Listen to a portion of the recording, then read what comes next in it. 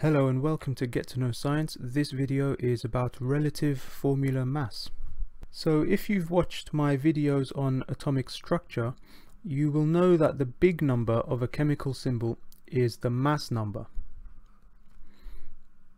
So these two here are both mass numbers. This gives the mass of the atom relative to other atoms. So it gives the relative atomic mass. So it's the relative atomic mass and this is often referred to as AR. So here are two examples. Here's carbon 12 and helium 4. So this means that one carbon atom is three times heavier than a helium atom. The relative atomic mass, the AR of carbon is 12 and the AR relative atomic mass of helium is 4. So the carbon is three times more massive than a helium atom. When we get a molecule such as sodium chloride, we just add the relative atomic masses to get the relative formula mass, or also known as the relative molecular mass. And it's often written MR. So for sodium chloride, the relative atomic mass of sodium is 23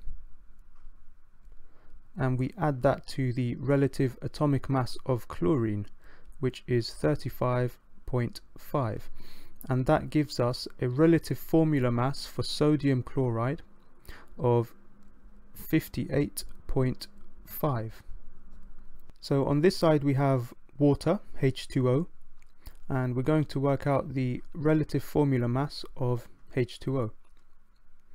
So it's worth noticing that there are two hydrogens here.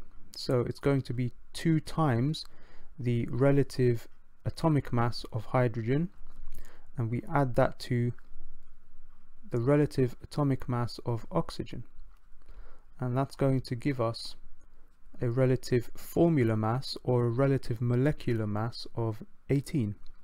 Okay, so pause the video now and try and work out the relative formula mass for H2SO4, which is sulfuric acid, and then press play when you're ready. Okay, so the relative formula mass for H2SO4. First we start with the two H's, so it's going to be 2 times 1 because the relative atomic mass of hydrogen is 1. We add that to the relative atomic mass of sulfur, which is 32, plus the relative atomic mass of these four oxygens.